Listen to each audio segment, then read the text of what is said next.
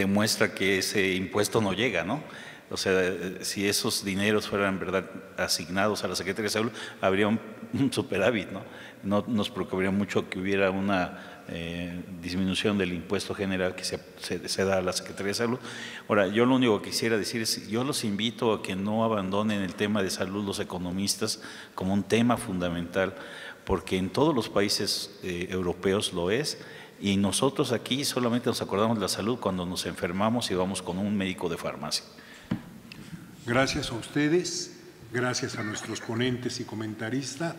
El tren recorrió bien, muy bien su trayecto y llegó solo cinco minutos tarde.